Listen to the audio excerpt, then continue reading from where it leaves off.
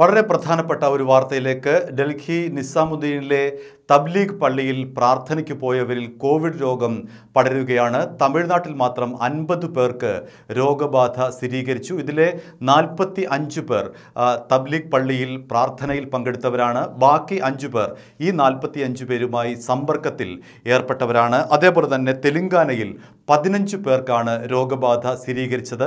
ആകെ ആയിരത്തി എണ്ണൂറ് പേരാണ് ഈ പ്രാർത്ഥനയിൽ ഇന്ത്യയിലെ വിവിധ സംസ്ഥാനങ്ങളിൽ നിന്നായി പങ്കെടുത്തത്. ഇവരുടെ വിശദാംശങ്ങൾ ശേഖരിക്കാൻ ഇപ്പോൾ കേന്ദ്രം ഉത്തരവിട്ടിരിക്കുകയാണ്.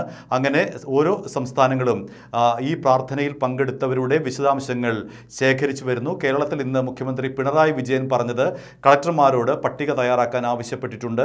അതേപോലെ തന്നെ പോലീസ് ഉദ്യോഗസ്ഥരോട് ഇതേക്കുറിച്ചുള്ള അന്വേഷണത്തിന് നിർദ്ദേശം നൽകിയിട്ടുണ്ട്. അതിന്റെ അടിസ്ഥാനത്തിൽ രണ്ട് ജില്ലകളിലെ കണക്കാണ് ഇപ്പോൾ പുറത്തു വന്നിരിക്കുന്നത്.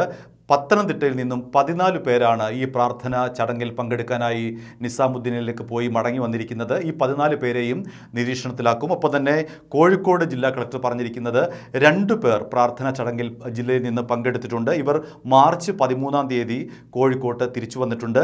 ബാക്കി മൂന്ന് പേർ നിസാമുദ്ദീനിൽ നിന്ന് വന്നിട്ടുണ്ട്. പക്ഷേ അവർ മൂന്ന് പേരും പ്രാർത്ഥനയിൽ പങ്കെടുത്തവരല്ല. ഇവർ പതിനെട്ട് മുതൽ ഇരുപത് വരെ നിസാമുദ്ദീനിൽ ഉണ്ടായിരുന്നു. അതായത് രണ്ട് ദിവസം നിസാമുദ്ദീൻ പള്ളി പരിസരത്ത് ഉണ്ടായിരുന്നവരാണ് ഈ മൂന്ന് പേർ. പക്ഷേ ഇവർ ആ പ്രാർത്ഥനയിൽ പങ്കെടുത്തിട്ടില്ല. പിന്നീട് കളക്ടർ പറയുന്നത് ബാക്കി മൂന്ന് പേർ മാർച്ച് ഇരുപത്തി മൂന്നിന് തിരിച്ചെത്തിയവരാണ്. ട്രെയിനിലാണ് ഇവർ വന്നത്. ഈ മൂന്ന് പേരെ കൂടി നിരീക്ഷണത്തിലാക്കിയിരിക്കുകയാണ്. അങ്ങനെ കോഴിക്കോട് ജില്ലയിലെ കണക്കായിരിക്കുന്നു. പത്തനംതിട്ട ജില്ലയിലെ കണക്ക് പുറത്തു വന്നിരിക്കുന്നു. മറ്റ് ജില്ലകളിലെ കണക്കുകൾ അതായത് ജില്ലാ ഭരണകൂടം ശേഖരിച്ചുകൊണ്ടിരിക്കുകയാണ്. ഇക്കാര്യത്തിൽ പോലീസിന്റെ സഹായവും തേടിയിട്ടുണ്ട്. പോലീസ് വളരെ ഗൗരവമായി തന്നെ ഈ വിഷയം എടുത്തുകൊണ്ട് ആരൊക്കെയാണ് ഈ പ്രാർത്ഥനാ ചടങ്ങിൽ പങ്കെടുത്തത് അവരുടെ വിശദാംശങ്ങൾ ശേഖരിക്കുന്നു. ആരോഗ്യവകുപ്പാകട്ടെ വിശദമായ അന്വേഷണം ആരംഭിച്ചിരിക്കുന്നു.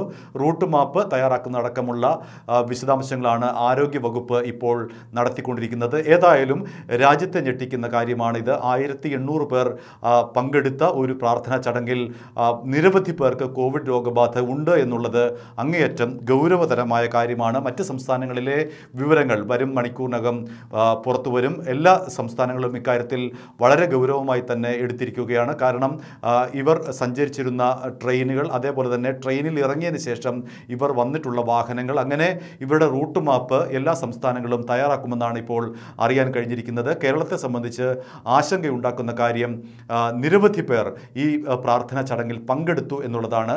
ഈ രണ്ട് ജില്ലകളിൽ മാത്രം ഉള്ള വിവരങ്ങളാണ് ഇപ്പോൾ പുറത്തു വന്നിരിക്കുന്നത്. മറ്റ് ജില്ലകളിലെ വിശദാംശങ്ങൾ ഉടൻ തന്നെ ലഭ്യമാകും.